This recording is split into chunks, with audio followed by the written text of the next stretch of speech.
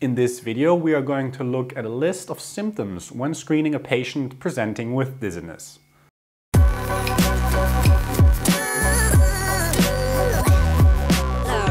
Enroll in our online course now. Link is in the video description.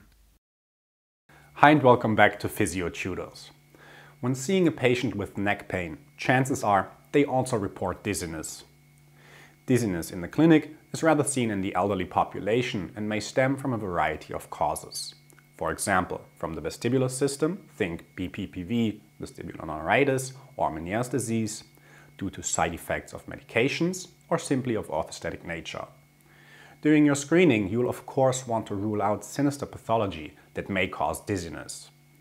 A good starting point is to watch our video on screening by a click in the top right corner to learn about the components of a thorough screening process.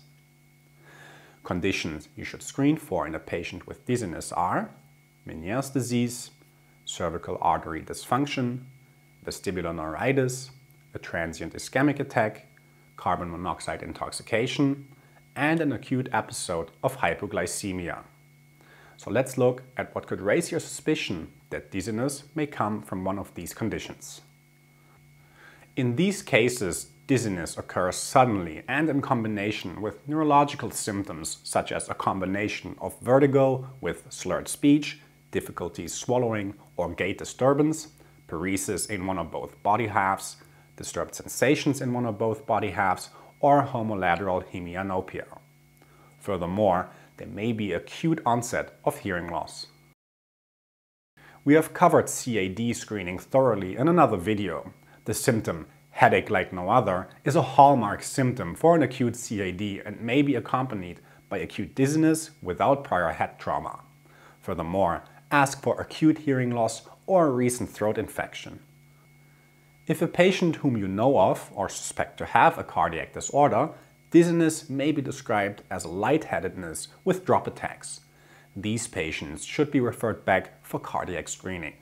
Also, ask patients that take prescription drugs if there were any recent changes to their medication and if so, to consult their physician.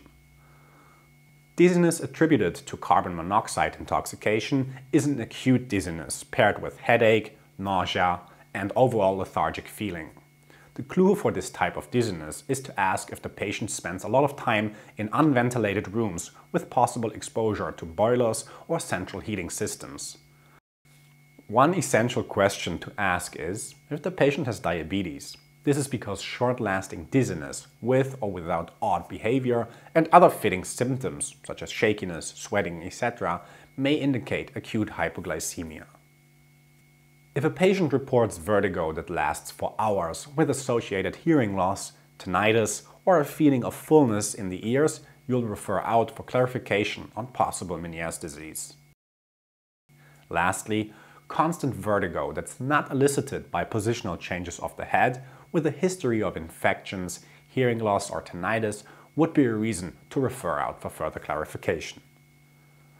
Summing up, be cautious with dizziness that has an acute onset with associated hearing loss or tinnitus.